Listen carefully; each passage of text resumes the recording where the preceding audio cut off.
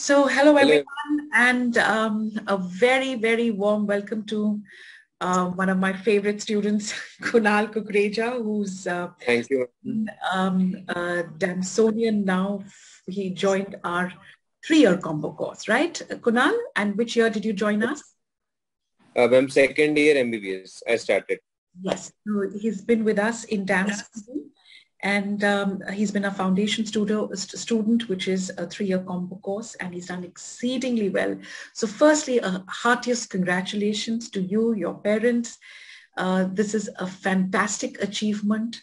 And um, uh, I would like to know the score from you. That is that is a better way. What was your score yourself? Thank you so much, ma'am. Uh, my score was 662 out of 800. Fantastic. And Fantastic and uh, this is this is really one of the, uh, one of the absolutely fantastic achievements from DAMS Pune. Uh, I know that you've been working hard. I know uh, we've been interacting over the last few years, including with your, I know your parents have been a very big support factor. All right, so let's start from right from the beginning. Let tell me a little bit about your journey. When did you join us? When did you actually think about preparing for PG? Let's start with that. Uh, so, ma'am, uh, uh, as many of my seniors had uh, also joined DAMS, so I was uh, so I was thinking that I'd join in third year part one. But uh, DAMS came up with an idea of having a pre-foundation sort of course for second year so that we have our basics of um, physiology, you know, pathology, pharmacology, the first and second year subjects. So I started my lectures uh, that time only, which helped me develop my core basic concepts, which is rather essential for uh, understanding medicine, surgery, obs gynae.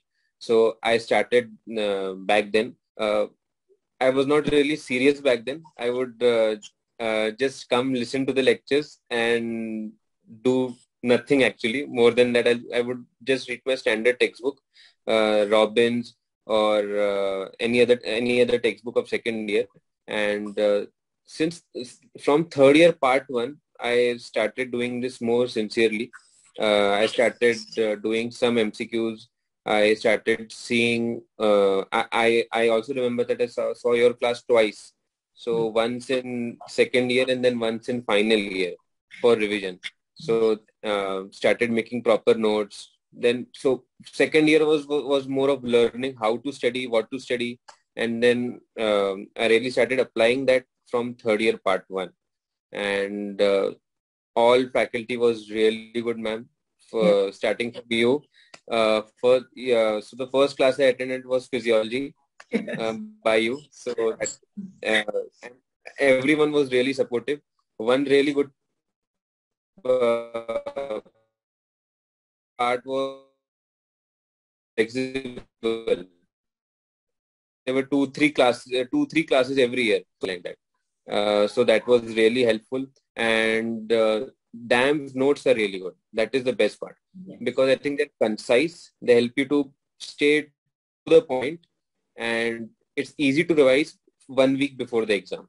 That is uh, unfortunately that that is something which all students get back to us and they tell us that uh, it was the concise nature of the notes which made which helped them revise those notes again and again they could yeah. manage to you know do them again and again and that probably helps you in retaining the information and uh, exactly. uh, you know it's it's not just reading not just understanding you also have to retain that information and then apply it when you are uh, when you appear in your exams so that is definitely, uh, that is something which I'm sure. Um, uh, now, uh, when you said you started sort of preparing seriously from your pre-final year, from your, uh, right?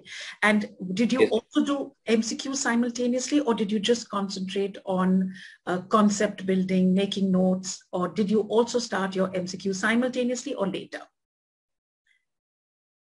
I'm honestly uh, not many MCQs very very little i would say perhaps nil it was more concept building it was more building uh, making notes and reading the standard textbook and sometimes doing mcqs some and mostly mcqs i used to do of the subjects that i used to have uh, having muhs exam For example, I'll be doing ophthalmology and ENT MCQs. So because I didn't really get time to do physiology MCQs, so physiology I just used to read the notes. No. Physiology MCQs intern intern year.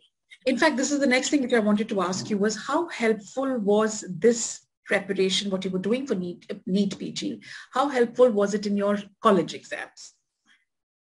Did it help you? Yes, totally, totally, totally. And so if most of the SAQs and the LAQs that are asked in our MUHS exam, many of them are actually there inside the DAM. So you just need to expand those notes. You need to explain. See, so, so basically, you you need to just divide them into headings. You need to divide the the whole topic into six parts and write it down. And even uh, I remember something say in uh, obstetrics and gynecology also. So ma'am would rather explain us with a diagram or something like that. So you can draw that diagram in um, your MUHS exams as well. So direct correlation, direct correlation. I most of most of those exams I used to be reading DAMS notes on the morning before my theory paper. Fantastic, and uh, I know that um, you. Even though you said you didn't do too many MCQs, but I do know for a fact that you did take your tests very regularly and uh, yes, especially in the last year. So a little bit about that. How many tests and how helpful were the tests in and which tests did you take? Yes, ma'am. Ma'am, uh, when I started my preparation, it was more of subject tests to identify a very specific area of weakness. So, for example, I was faltering in uh, biochemistry. I was specifically faltering in enzymes. So how? So I made some charts and uh, and you know those uh, examples of competitive and non-competitive inhibitors, something like that. And as as my uh, schedule kept on going, in in in intern year, my main focus was to do grand tests and grand tests as many as possible. So right. I've given probably 20, 20 grand tests. Uh, plan was 10, 15, but because the exams kept on getting delayed, so more and more grand tests. But grand tests is the most helpful thing, definitely. Uh, one of the reasons is mental capability you know. Uh, so where do i reach after one hour? Where do i reach after one and a half hour? Which question to leave? Or so many of the AIIMS more NEET you have to be more uh, more because it's every 15 days I use for grand test and sometimes every week also. So four grand tests before the exam. Fantastic. In, in the last week. How helpful were the video explanations? Did you go through the video explanations of the faculty?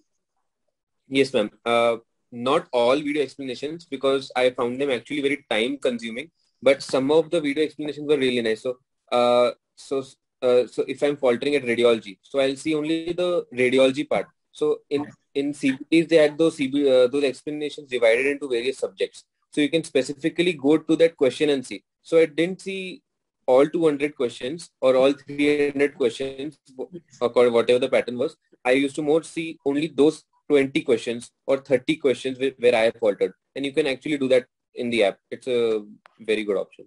Yes. One more point which I want to uh, wanted to ask you was, you know, there has been um, there has been change in pattern. There has been, you know, a lot of clinical, a lot of talk about clinical questions. A lot of. Did you face any? Now you've been a student with us for a few years now. Did you face that uh, any difficulty in making the transition from the old pattern to what is now the new pattern of questions? Or it, was it a seamless transition? Or did you have to make some special effort to focus towards these uh, clinical questions? Not really ma'am. It was not really difficult. It was more like uh, so i would after the change in pattern i would less focus on the most common part of the notes. So at notes you have so many most common, most common, most common. And those things gradually became less important.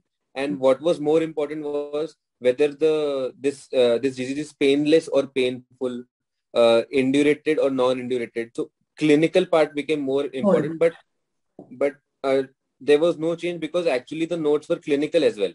So so the notes remain the same, the concepts remain the same and in fact the good part was you have more time yes. you have only 200 questions so yeah, I like that part. Yes, this was much more manageable because there was uh, the number of questions had increased. Yes, there were there were different pattern, but they had they had also given you sufficient time to uh, to be able to think and answer those questions. So that is uh, that is something which all students are giving us the feedback that they were able able to revise as well and go through yes, um, uh, whatever the marked questions were. So uh, yeah. I'm glad that this this transition from the old to the new pattern was not difficult for you, and you found that whatever you had, whatever knowledge you had acquired, you could apply it to all these clinical and analytical questions. Definitely, ma'am. Even uh, one of the ways I so when NEET got delayed by four months, uh, what many of us had done uh, was so the three of us. One would say the physiology part of it, say GIT one would say the pathology part of it one would say the medicine part of it. And then we'll together see git drugs. To you know just uh, we were getting bored. So this was also a very helpful thing. So git git git of all subjects then respi respi respi of all subjects. And that is actually very helpful in the new pattern.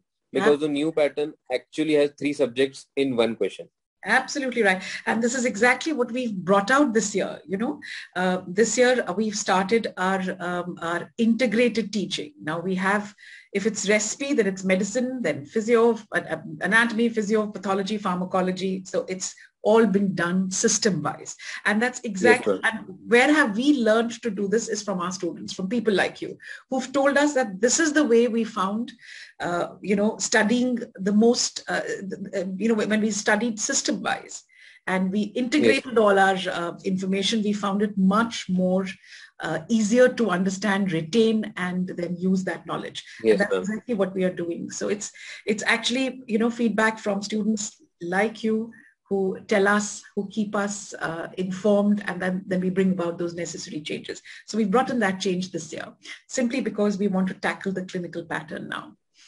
Now yes, tell me, what are your plans ahead? That is something which I really want to know.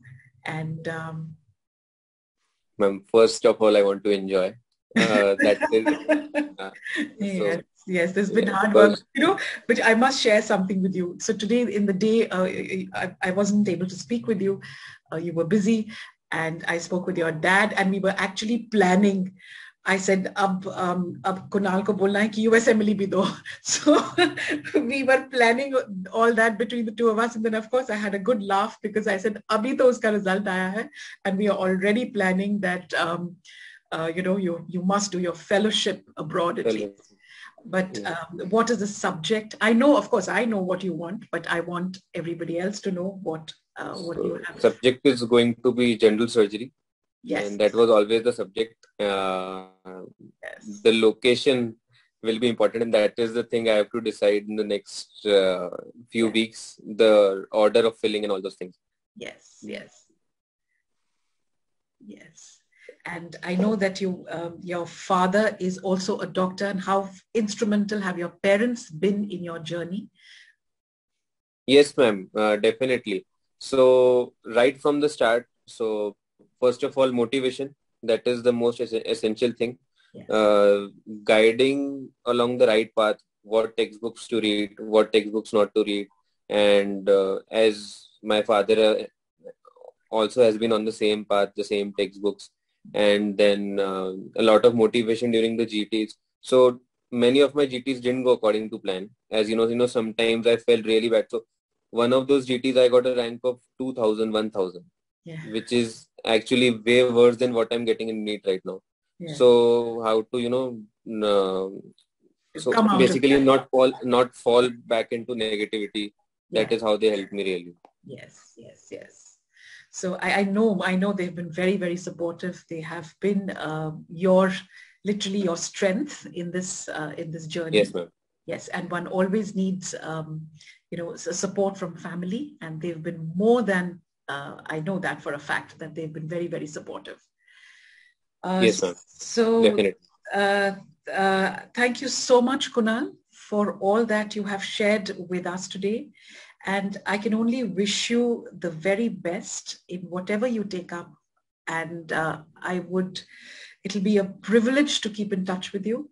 Thank you so much and God bless.